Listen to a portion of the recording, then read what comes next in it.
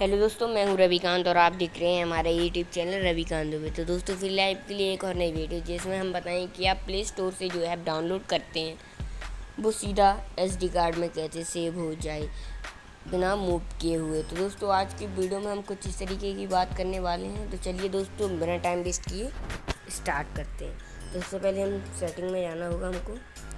तो यहाँ सेटिंग में चले जाते हैं। सेटिंग ओपन हो जाती है दोस्तों, उसके बाद हमें जाना है स्टोरेज में। स्टोरेज पर क्लिक किया तो यहाँ कुछ इस तरीके का इंटरफेस खुल जाएगा। तो यहाँ आपको सेव लोकेशन जो है, वो यहाँ एसडी कार्ड कर देनी है।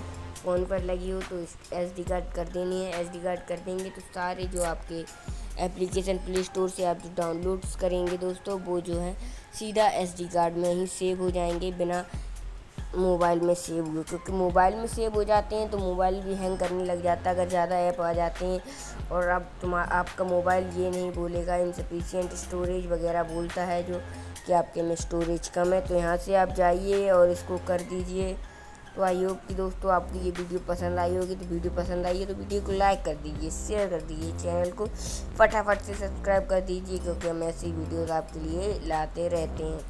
तो मिलते हैं ऐसी अगली वीडियो में, तब तक के लिए जय हिंद बंदे मातरा और थैंक यू दोस्तों, आप लोगों ने हमारे इतने सब्सक्राइबर करवा दिए तो थोड़े और, थोड़ी और करवा दीजिए।